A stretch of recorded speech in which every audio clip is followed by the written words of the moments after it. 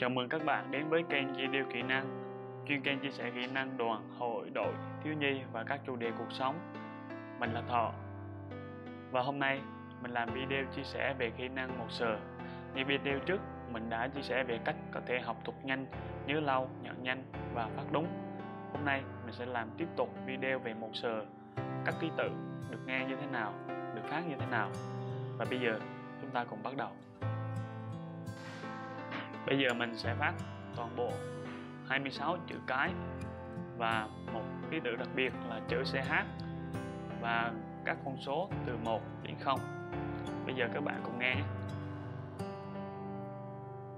Chữ A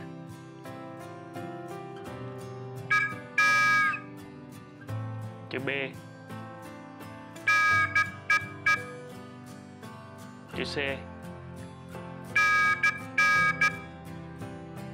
chữ D. Chữ A.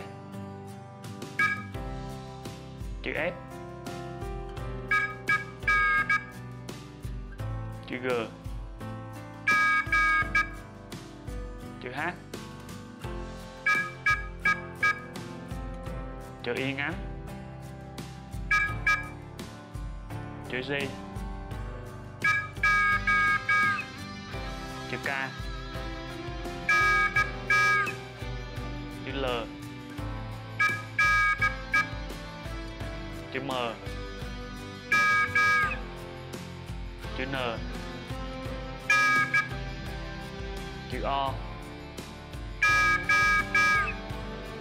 Chữ P.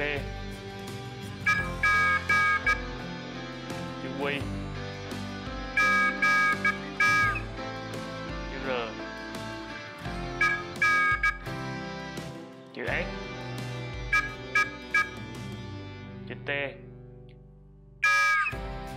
Chữ U chữ V. Chữ W chữ X. Chữ Y dài. Chữ Z. CH số 1 số 2 số 3 số 4 số 5 số 6 7 số 8 số 9 số 0 Như thế là mình đã phát các ký tự và các con số. Thì cách để phát một bản tin một giờ có cấu trúc như sau. Ờ, đầu tiên thì chúng ta sẽ phát một hồi tè dài là chữ T.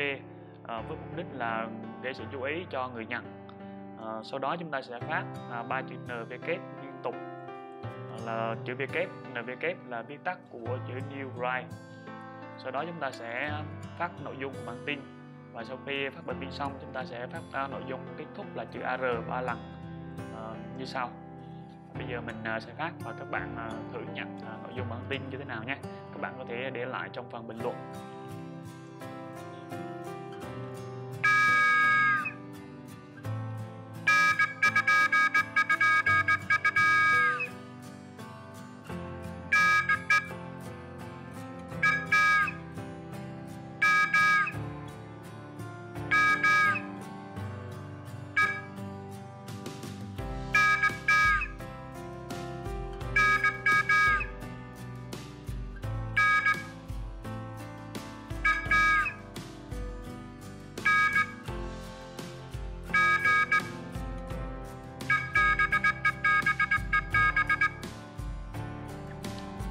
Đó là cấu trúc của một bản tin hoàn chỉnh.